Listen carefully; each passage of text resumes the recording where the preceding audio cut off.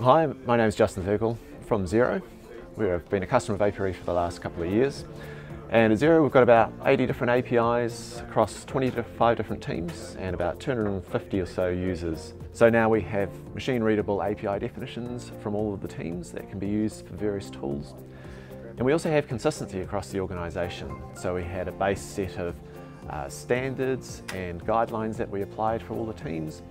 And that means that anytime you work against an API developed by any team at Xero, there is a base level of consistency.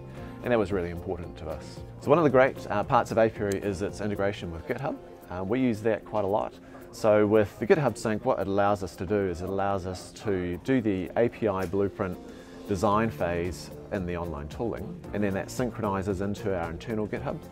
From there we can do collaboration with other teams, we can uh, kind of go back and forth between the service team and the, and the client, and that allows us to have control of um, both the conversations that happen as part of API design uh, and also control over multiple different threads coming into the API design process. So one of the great things about the way that we've used Apiary has been the support model. The support model has been really good and so whenever we've had issues with how does this work or um, is this right, we've gone back to them and they've responded really quickly.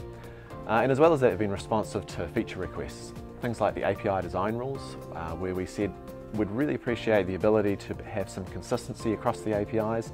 That's something they took on board and then they built out um, the uh, design rules feature based on the feedback that we gave them. So for us it's been great. We started out with a goal of having better collaboration across all the teams who are building APIs and providing some tooling for them. And in the end what we've come out with is uh, a collaboration with Apiary which helps us to build APIs faster across the board, but also more consistently from all the teams across the whole enterprise. And that's been a really great win for us.